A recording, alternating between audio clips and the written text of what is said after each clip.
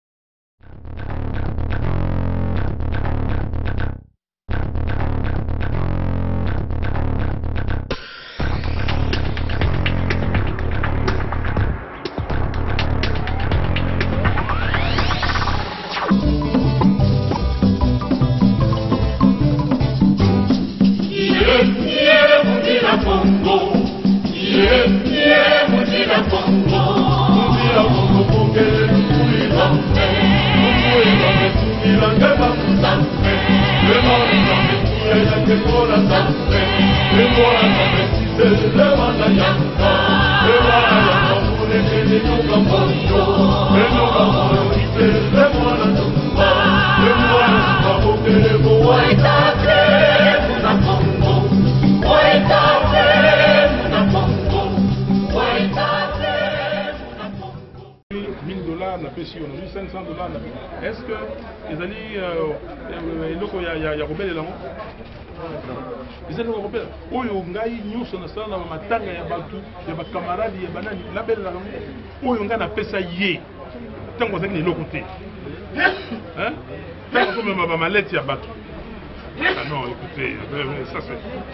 ntango ozomema malete ya bato totangana bakoma bazonga bilenge bamalete non c'est alors nalobi na bato ya bareseaux sociaux hmm. fayulu c'est fayulu vous pouvez tout dire que je répète j'ai 60 ans moto oyo na vie na ye akobeta tolo abi ke ngai abengaka fayulu na kinsueki nalobi yo okosala boye okosala boye zwa un franc yango oyo azali te mpe akozala te hotel na ngai mpa nalelaka bakangi yango lelo oyo dans quelque na deux mois awa ça fera un an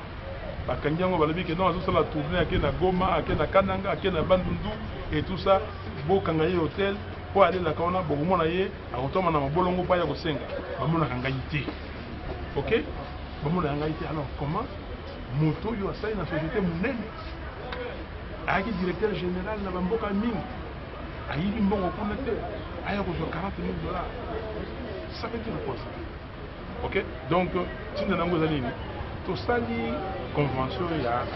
dynamique bato oyo tomoni bango ke ndenge tobengi bavirus oyo balingi babebisa makambo